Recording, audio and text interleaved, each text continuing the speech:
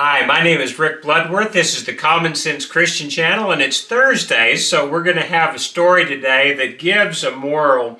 And the story I have for you today really is a good one. It's from Zig Ziglar, and it's one of the most popular illustrations that he used in all the years that, that uh, he wrote and, and gave public speeches on things, and it involved the example of a pump and it it was it was uh, I guess a number of years ago with a couple of his friends. One's name was Bernard and one's name was Jimmy, and they were driving through Alabama and they, through the foothills of Alabama. Apparently, it was a very hot day, and before uh, the time of air conditioning, or at least for these two gentlemen, doesn't appear that they had an air conditioning air conditioner that was working in their car, and so they're getting hot. They're thirsty and so the two friends, one's name is Bernard and the other Jimmy, uh, are looking for a place to get a drink and they spy an old farmhouse. Well, knowing what they did about southern Alabama or that part of Alabama was that most of them had a well there. And so, sure enough, they were able to spy a well with a pump in an old abandoned farmhouse. And so Bernard stopped the car and he jumped out and he ran to that well and he started pumping on that handle of the uh, of that hand pumped well and just did it for, for several minutes. And finally he, he called Jimmy, you're going to have to go get a bucket of water from that creek and we're going to have to prime the pump. We're going to have to put a little water into this uh, so that it can get the suction it needs so that it'll start pumping water. And so his friend did that, and Bernard is still pumping away and pumping away. And after a while, in that hot August sun, he gets tired. And, and, and his, his friend Jimmy urges him on to don't stop now. These, these wells are very deep. But he said it's a good thing that they are because these deep wells have some of the purest and the cleanest and the best tasting and the coolest water you'll ever drink. And so Bernard kept on going for a while and finally he just stopped. He threw his hands up and he said, There's no water in this well. and at that point, Jimmy rushed over and started pumping on it. He said, You can't stop now. Otherwise, all the effort that you've expended on trying to get that water up from the bottom of that well is going to be wasted because the water is just going to flow back down that pipe and you're just going to have to start over again. Well, there's a lesson in that for us. And it involves work ethic. One of the ways you can tell somebody with, with a good work ethic is this they're willing to put the effort in prior to getting the reward. Now, that's getting rare and rare today, it, it, you have to admit. We have people who want so very often something for nothing, or they want instant gratification.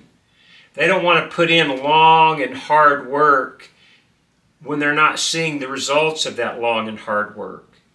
And if they're not used to long and hard work, such as pumping on a pump that's got it to a deep well that you just know from experience, you're going to have to pump for a good long time before you get that water out. Well, people without a work ethic, people without that experience, are just going to give up if they put the work into it at all. And I, I, love this story that Zig Ziglar tells because he compares it to, to some of the, the, the workers who would like to get something before the hard work. They're the kind that will go to their boss and they'll say, if you'll just give me a raise, I guarantee you I'll work really hard. And if the boss points out, well, you hadn't been working all that hard yet, but the employee will say, well, you just pay me right, and I'll make sure that I give you more effort than anybody else. Or the employee that goes up and, and will say, I'd, I'd like a promotion, and the boss points out, you really haven't done anything that, that would seem to merit that promotion, but the person says, well, let me tell you how I work, how I work best. I work best when I'm in charge. I guarantee you, if you'll put me in charge, you'll get more work out of these people that you've hired. I'll be the best supervisor you've ever seen. Well, in both instances, you have a person who has a very inflated sense of their worth, who's never really proven that they're capable of the hard work that's required to bring quality effort. And a wise employer is not going to give that person a raise. They're not going to give them a promotion. As a matter of fact, they may just go ahead and let them go.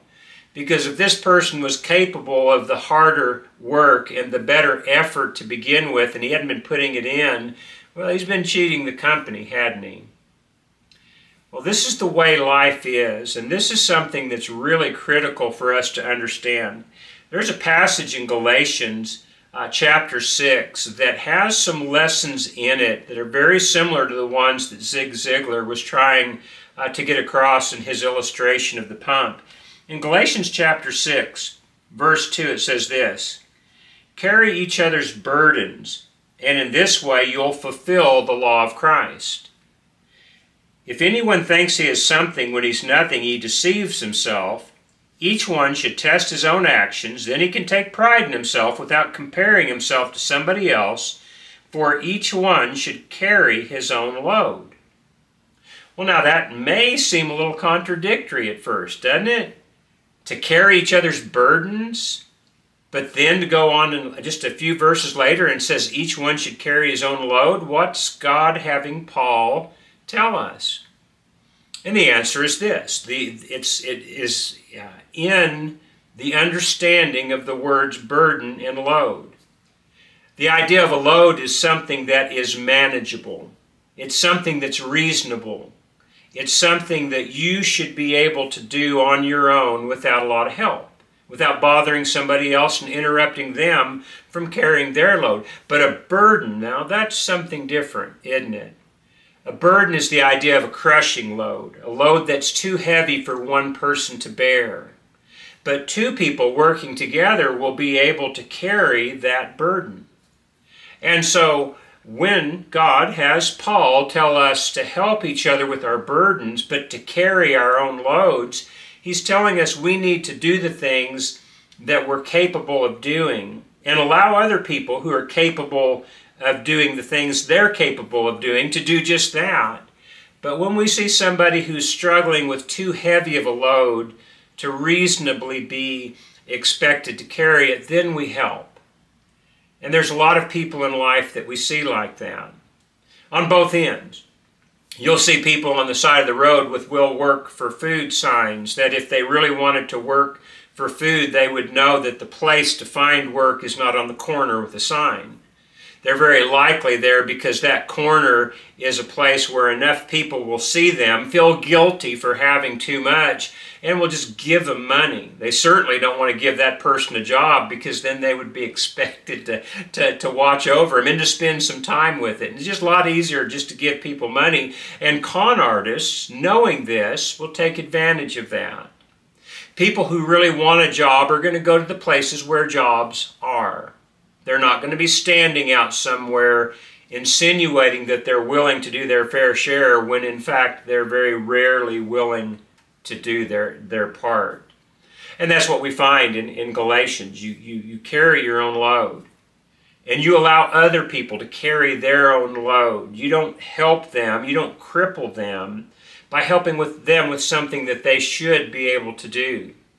I don't know how many times I've seen an older person giving money to a young, healthy, vibrant person who has a will work for food sign. They could be out doing some actual work, the actual work that this older person apparently has done within their lives. So, we help each other with the things they cannot be reasonably expected to do, but we take care of what we need to take care of and what we can, and allow other people to do the same. Again, getting back to this idea of the pump. You're just pumping along and pumping along and pumping along.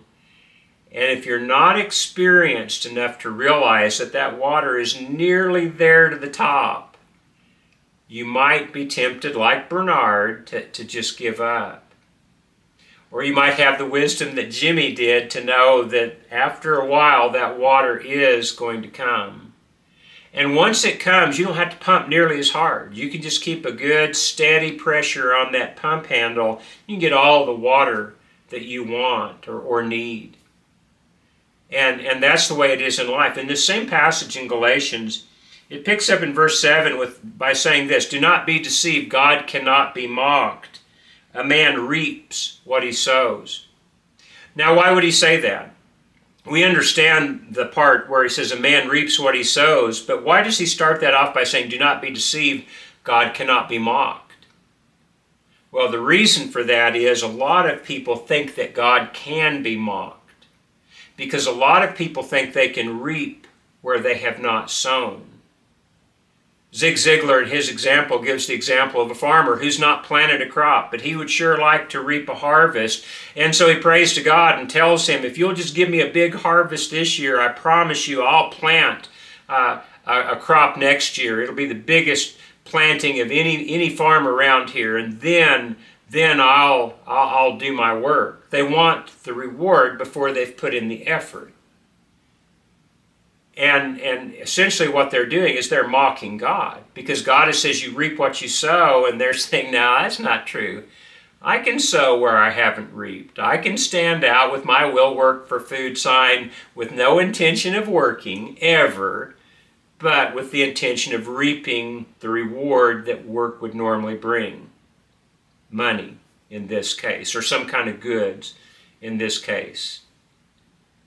But from a spiritual standpoint, your eternity hinges on the understanding that you're only going to reap what you sow.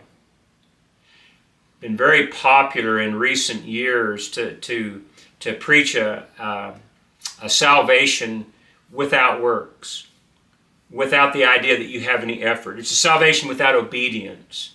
It's the idea that God's grace is the only thing that you need such such a philosophy is, is flawed when you think about it because if grace was the only thing that you need the devil would be saved. And many people say no no it's grace and faith. It's you, you have to have faith too. But let me tell you the devil believes in god. He knows better than you and i that god really does exist.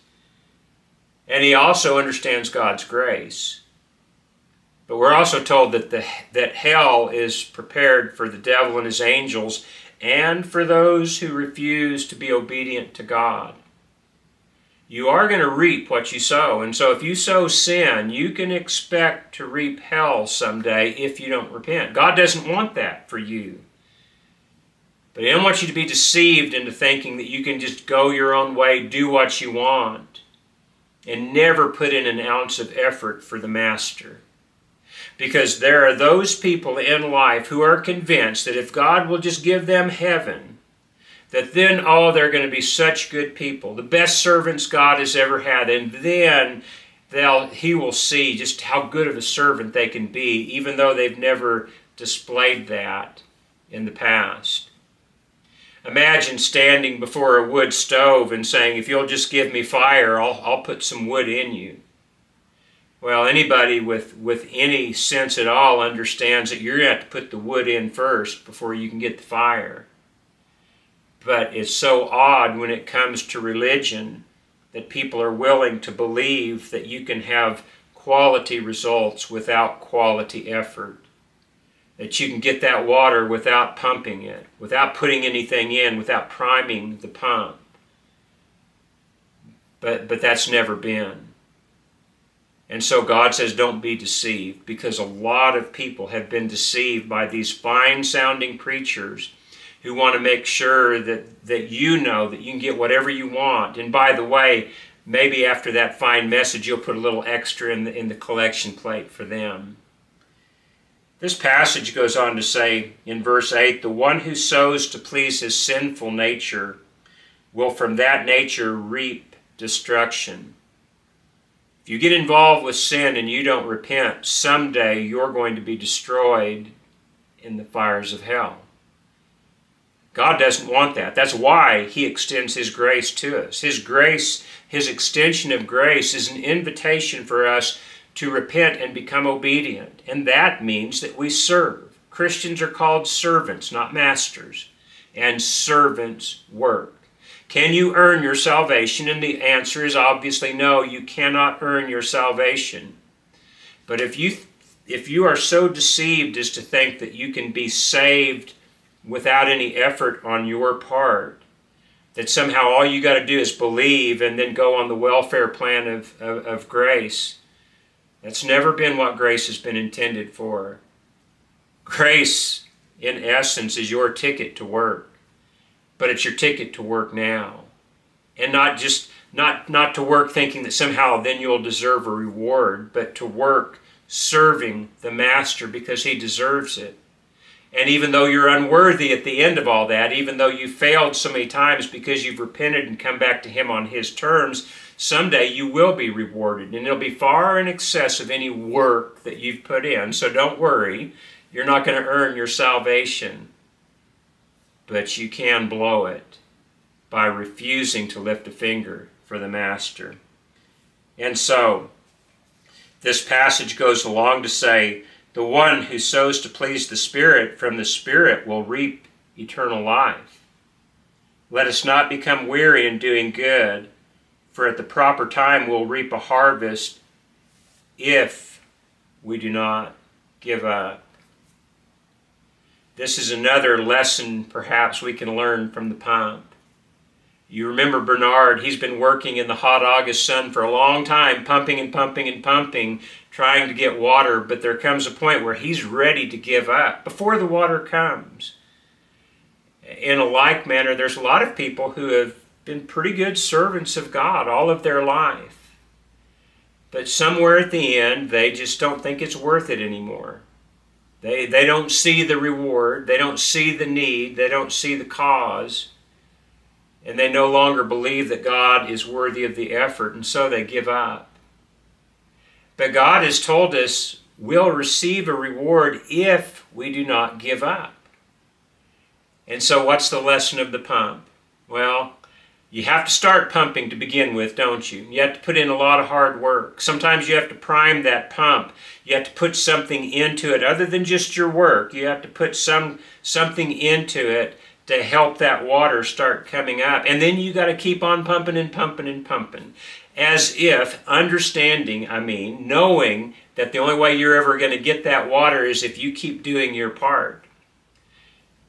But at a point, the water's going to start flowing.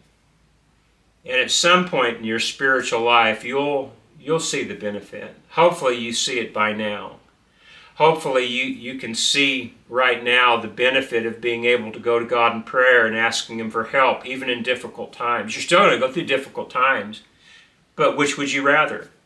Would you rather go through those difficult times with God's help or, or without God's help? You still have to put the work in. You still have to pump the pump.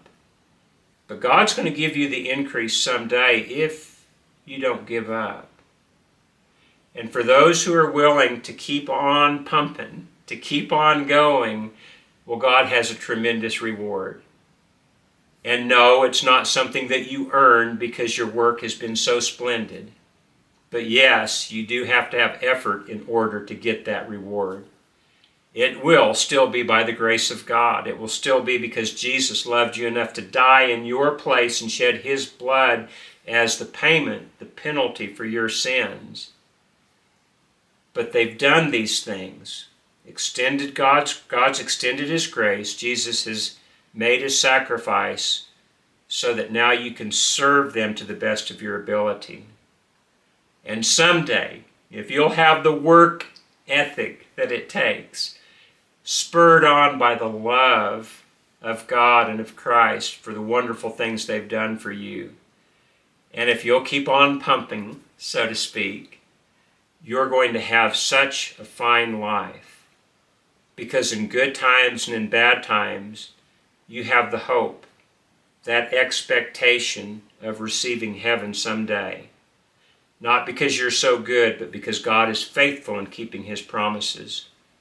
And if you'll do His part, He is, your if you will do your part, He is guaranteed to do His part. But you got to put the work in. You got to keep pumping. You got to be faithful unto death, as Jesus said, and someday you'll receive a crown of life. What kind of work ethic do you have for the Master? You might be really proud of your work ethic in the physical world, and I hope you do have a good work ethic in that. But if you find that your work ethic has been somewhat lacking when it comes to your spiritual life, because you have been on the will work for salvation plan, but you have no intention of working, uh, it may not work out so well for you. But if you'll do your small part, even though you're not earning your salvation, someday you'll get to reap the reward. Do not be deceived. God cannot be mocked. A man will certainly reap what he sows. What are you sowing right now? Are you sowing into salvation or are you sowing just vacant thoughts and empty promises? Like the employee that goes to his boss and says, I know I've been working very hard so far, but if you'll just give me a raise, if you'll just give me a promotion, then I'll really work for you. Or are you willing to do your part now, even though you know you're unworthy and it's not going to earn you salvation? It is certainly going to allow you to reap the reward that's available for those who will take advantage of God's grace and of Christ's shed blood. Well, that's the lesson for today. I hope it gives you something to think about. But I appreciate your listening today, and I pray that God will richly bless you as you seek to do your part to keep on going, to keep on pumping, and so someday to reap that reward that God has waiting for those who are faithful. God bless you.